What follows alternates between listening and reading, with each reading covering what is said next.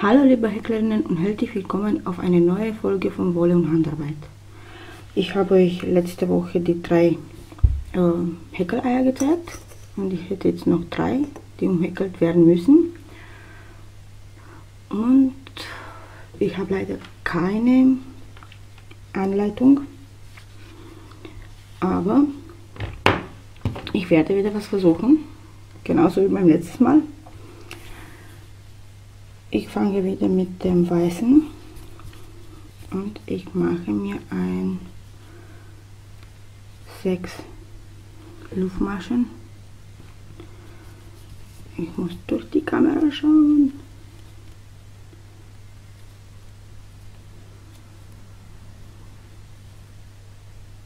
Eins, zwei, drei, 4, 5 und 6. Die muss ich jetzt zu einem Kreis binden. Jetzt mache ich 1, 2, 3 zum Steigen.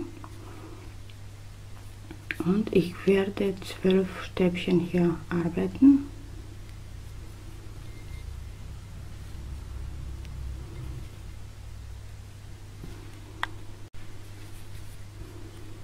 Nach die 12 muss ich jetzt in die dritte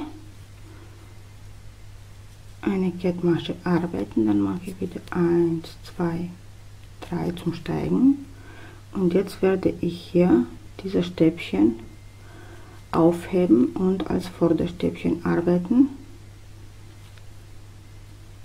So, der nächste. Einmal normal arbeiten als Stäbchen und einmal aufheben und als Vorderstäbchen arbeiten.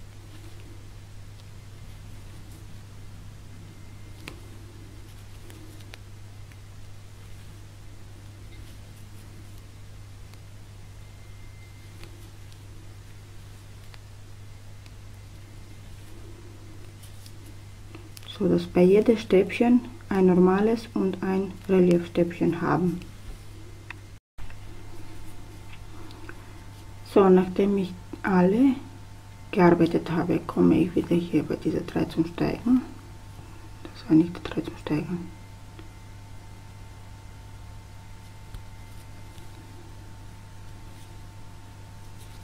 So, und arbeite wieder 1, 2, 3 und jetzt arbeite ich in diesen noch eins.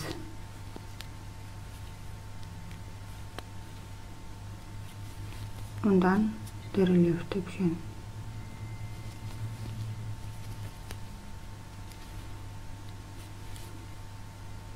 und hier wieder.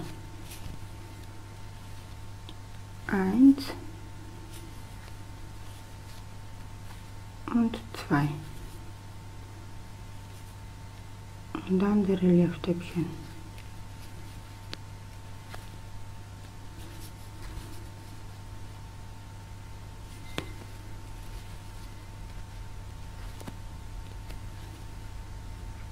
Eins und zwei.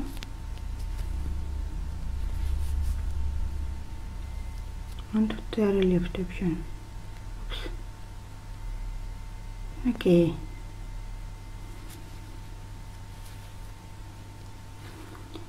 So.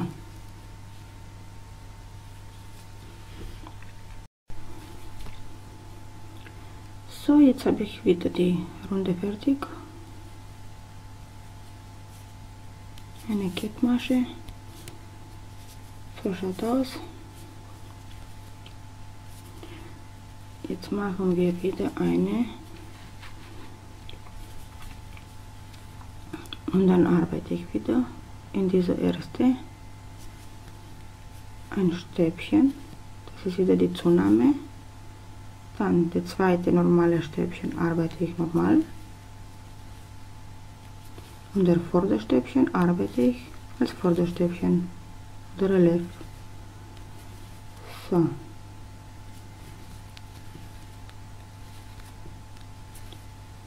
Hier in der erste Stäbchen eine Zunahme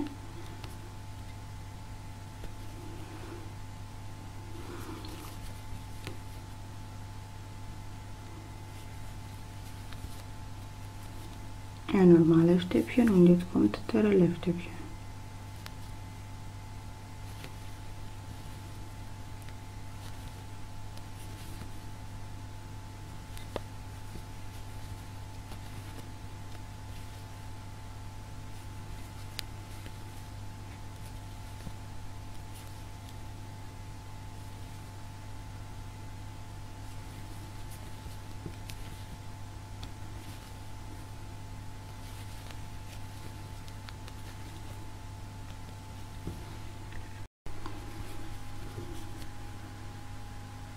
So, jetzt ist diese Reihe auch noch fertig. Runde. Diese Runde auch noch fertig. Und ich werde jetzt schauen.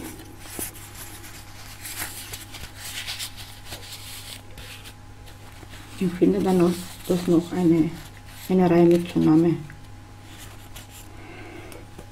Wir müssen noch eine Reihe mit Tsunami machen. Das heißt, muss 1, 2, 3 zum Steigen machen und genau in diesen Stäbchen arbeite ich noch eins.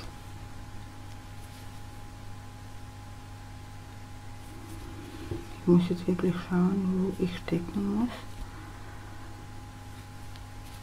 Ich schaue durch die Kamera und da kann ich nicht so gut sehen.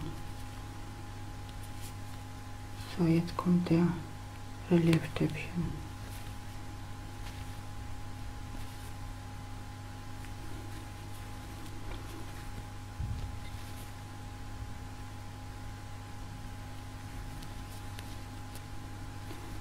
Ups, das war der erste, da hätte ich Tsunami machen müssen.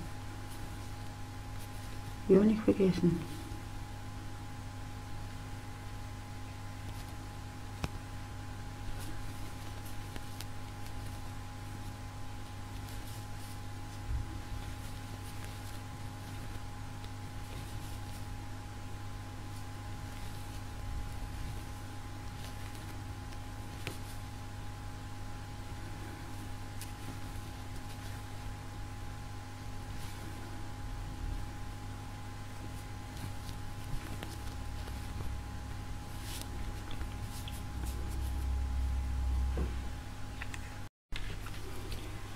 So, die nächste Runde ist fertig. Und ich werde jetzt keine Zunahme mehr machen. Die nächste Runde werde ich genauso arbeiten wie die. Und ich habe vergessen, mein Doppelstäbchen zu arbeiten. Na, mein Reliefstäbchen.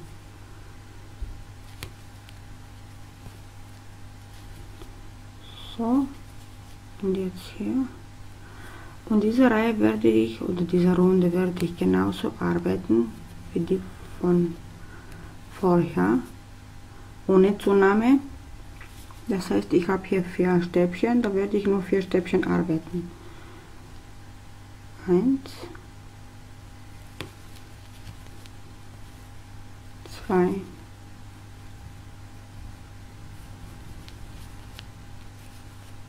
drei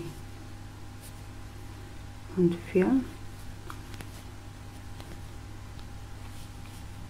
und dann der Reliefstäbchen.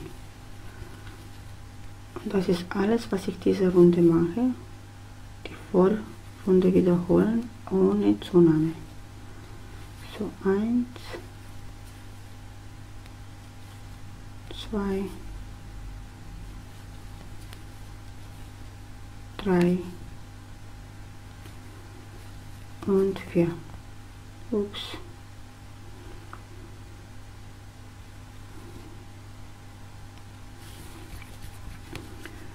Und jetzt dieser Reliefstäbchen. So, und jetzt müssen wir es wieder langsam wieder abnehmen. Das heißt, ich mache 1, 2, 3 zum Steigen. Das ist das erste Stäbchen sozusagen. Dann die nächsten zwei werde ich nicht mehr fertig arbeiten, sondern zusammenarbeiten. Und jetzt habe ich insgesamt zwei Stäbchen hier, weil das ist eine Abnahme.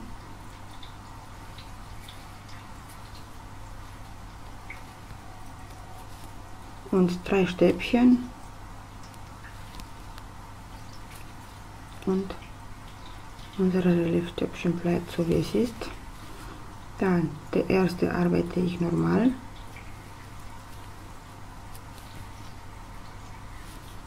Und die nächsten zwei arbeite ich nur halb und zusammen. Und dann noch ein Stäbchen. Na, eins, zwei, das ist der dritte.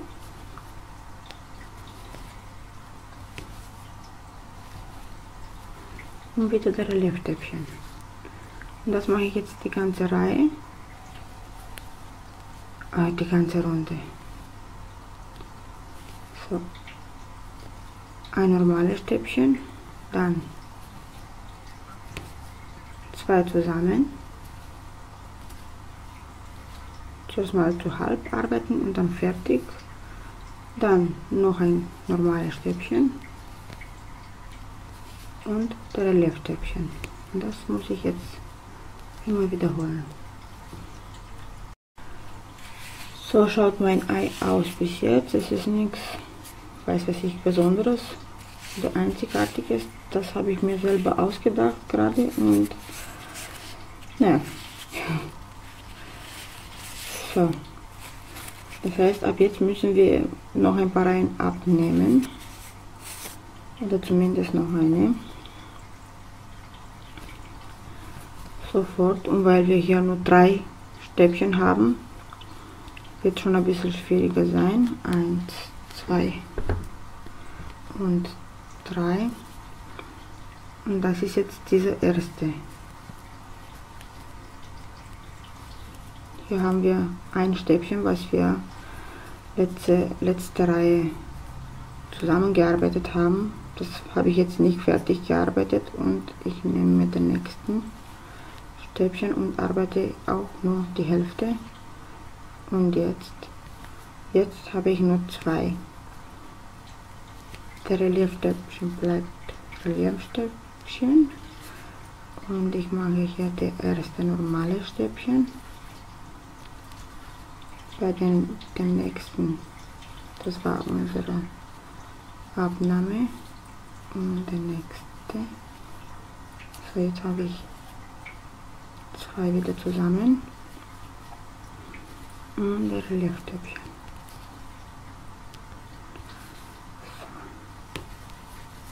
Ein normales Stäbchen und dann wieder die nächsten zwei zusammenarbeiten.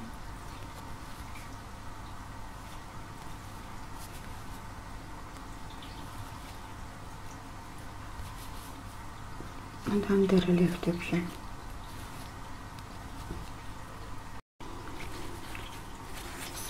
So. Ich werde jetzt diese Reihe genauso wiederholen. Das heißt, ich werde jetzt eins und zwei Stäbchen haben und die zwei Vorderstäbchen oder das Vorderstäbchen machen wir mal zusammen, der Anfang. Das ist der erste. 1, 2, 3 und hier ist der nächste Stäbchen. Und jetzt kommt gleich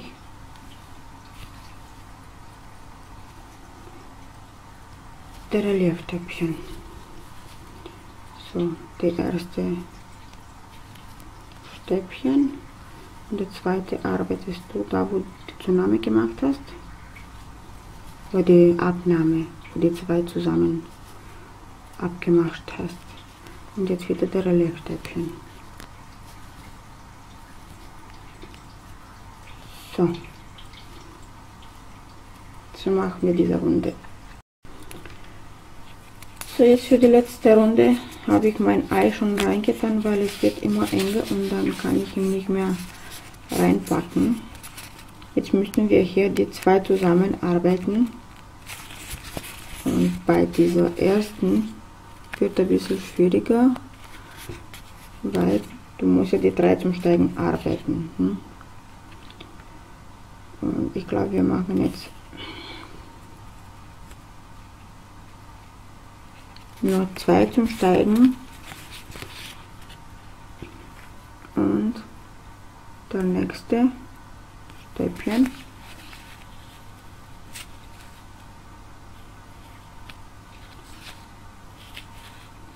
so dann der Reliefstäbchen Nein.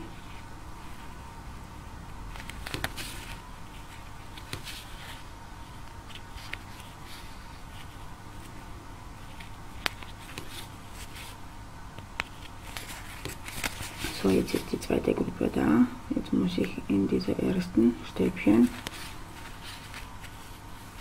und ich arbeite es nur halbwegs und der nächste auch.